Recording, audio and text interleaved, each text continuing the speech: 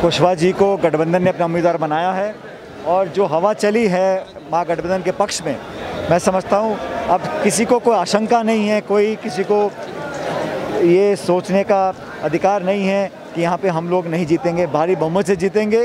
नौजवान व्यक्ति हैं, बहुत लंबे समय से राजनीति में हैं और हमारे गठबंधन में जिन लोगों ने भूमिका निभाई है, उनमें से एक कुशवाहा साहब भी हैं। यहाँ से जीतना, मैं समझता हूँ, पूरे बिहार के अधिकांश क्षेत्रों में हवा यहाँ से बनती है। और धीरे धीरे जैसा चुनाव प्रचार बढ़ रहा है, महागठबंधन के प्रति लोगों का रुझान जो है और बढ़ रहा है। अंत में जब 10 नवंबर को मतगणना होगी तो जितना आपने अनुमान लगाया है, उससे अधिक बहुमत लेकर हम सरकार बनाएँगे। जनता ने मन बना लिया कि बदलाव लाना है नौजवानों के हाथ में सत्ता देनी है बिहार का कायाकल्प करना है रोज़गार देना है भाई बहन बेटियों को सुरक्षित रखना है। प्रथम चरण का सर चुनाव हो गया है सेकंड चरण का चुनाव। अब लगातार निशानेबाजी होने लगी सर लालू जी पर निशाना साधा है। नीतीश जी ने कहा कि नौ बच्चे हैं वो क्या विकास करेंगे मुझे क्या मुझे लगता है किसी भी नेता के प्रति इस प्रकार के शब्दों का प्रयोग करना गरिमा के खिलाफ है। संतुलित और संयम बयान राजनीति में देने चाहिए। बयानबाजी हो तो हल्की ना हो मुद्दों पर केंद्रित करना चाहिए। और नीतीश कुमार जी, बात करते हैं तीस, चालीस साल पहले किसने क्या किया। लेकिन पिछले पाँच साल में हमने क्या देखा, उसका पहले तो रिपोर्ट कार्ड दें। और पाँच साल में बिहार में कौन सा कारखाना लग गया, कौन सा निवेश हो गया, हमेशा कहा जाता था कि सुशासन अच्छा देते हैं। लेकिन यहाँ दो दिन पहले जो घटना हुई है, मुंगेर के अंदर, लोगों को मारा गया है, बच्चे की जान चली गई है। तो मैं समझता हूँ उनको सिर्फ़ सत्ता में बैठना, कैसे किस पार्टी का समर्थन लेके बैठे रहें वहाँ पे ज़्यादा दिमाग केंद्रित रहता है बनस्पत लोगों के बीच ताकि उनकी सेवा कर सकें।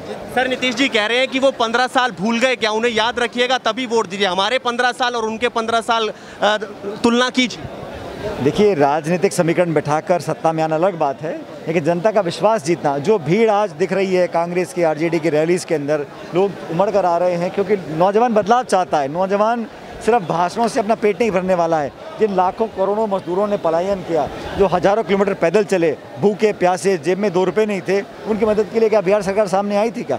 जब चुनौती के समय में आप किसी के काम नहीं आओ अच्छे समय में सब साथ होते हैं कठिन समय में दुविधा में जो मदद करता है उसको लोग अपना मानते हैं। को जिस तरह से विश्वास मिल रहा है सर यहाँ 25 सालों से विधायक नंदकिशोर यादव जी का साम्राज्य है उसको आप लोग कैसे नंदकिशोर जी ने बहुत सेवा दे दी और जैसे नीतीश कुमार जी हैं वैसे ही नंदकिशोर जी को भी यहाँ से लोग अब विदा करेंगे।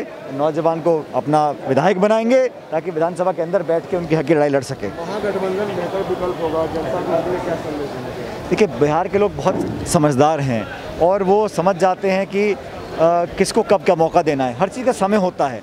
इस बार महागठबंधन का जो समीकरण है जो समझौता है जो लोगों का नेताओं का विचारों का घोषणा पत्रों का जो समावन हुआ है से लोग संतुष्ट है और एक ऊर्जा है।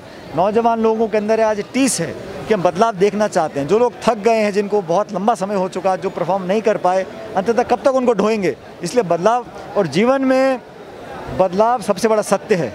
उसको हँसते मुस्कुराते लोगों को एक्सेप्ट करना चाहिए। लगता है कि डबल इज़्ज़त की सरकार को पुरखा फेंक के गई सर आप राजस्थान मध्य प्रदेश तमाम भूमि पर प्रचार कर रहे हैं। चीज़ हो गई sir sir sir sir sir Niranjan ji Niranjan ji sir एक करवा दो सर।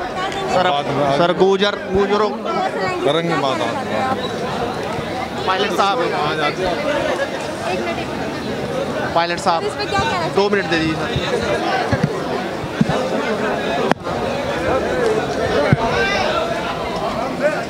सर आराम से भाई आराम से भाई